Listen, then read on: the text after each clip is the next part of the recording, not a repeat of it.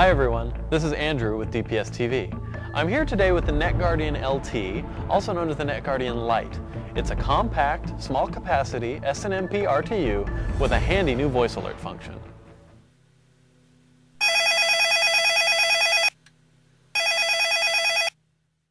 Enter passcode followed by the pound key to continue.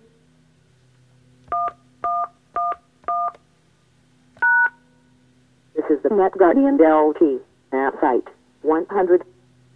You have selected option 3. There are currently one and acknowledged events. Please press 1 to list events. Press 2 to acknowledge all events. Or press pound to cancel. Event time 12.06 a.m. Alarm point 1. Critical alarm is standing. Press 1 to acknowledge. Press 2 to skip. Or press 3 to replay. Acknowledgement accepted. There are currently zero unacknowledged events. Please press 1 to list events. Press 2 to acknowledge all events. Or press pound to cancel. Operation aborted. Main menu. To list current alarms, press 1. To list all points, press 2. To list and acknowledged events, press 3. To operate controls, press 4. To activate site listen feature, press 5. Or press 9 at any time to hang up. Thank you. Goodbye.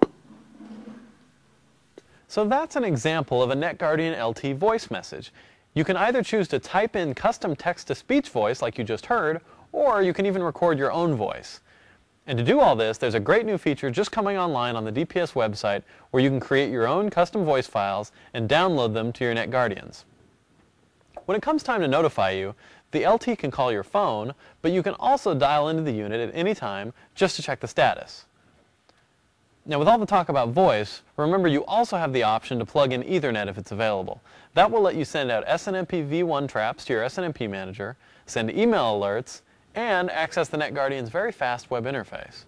So right out of the box, you've got lots of notification options for getting alarms. You can use dial-out voice, email, SNMP, or the web interface. So let's take a look at the front panel of the LT now. The first thing you notice when you pick up this unit is it's not made of flimsy plastic. That is critical. This is telco-grade equipment housed in a durable aluminum case. This particular unit has four alarm points, but you also have a build option for just two if that's all you need. These spring clamp terminal block connectors make wiring the alarms fast and easy. All you have to do is strip a small piece of the wire, flip open the connector, insert the wire, and lock it down. These LEDs on the front show you the NetGuardian's current status. Now let's talk about temperature sensors. You do get a standard internal temperature sensor, but on the exterior is an optional port for connecting an external temperature probe. I've got one here, and you can see it clicks in very easily like this. And now I'm able to monitor the temperature of a different important device up to 7 feet away. Over here are the optional Form C control relay contacts. The relay uses the same easy spring clamp connectors, and you can wire it either normally open or normally closed depending on your application. Now on the back of the unit, we've got a standard telco jack for connecting a phone line.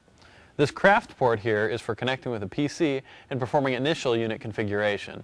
The LAN port, as I mentioned, is for SNMP and the web interface. Now this power output here powers an external sensor directly from the NetGuardian, so if you lose commercial AC power, you can still run your sensor off your protected DC power.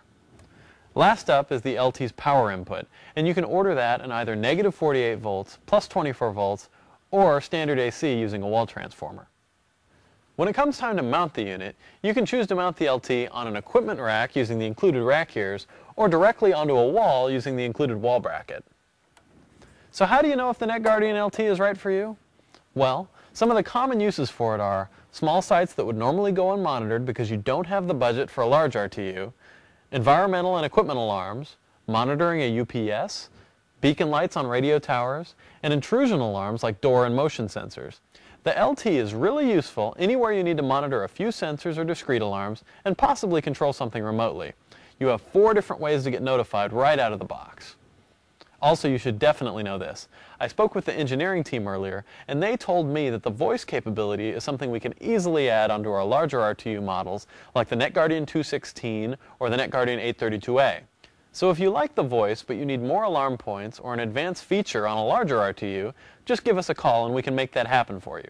I'm always amazed by how fast the engineering team turns out new stuff. They're really quick.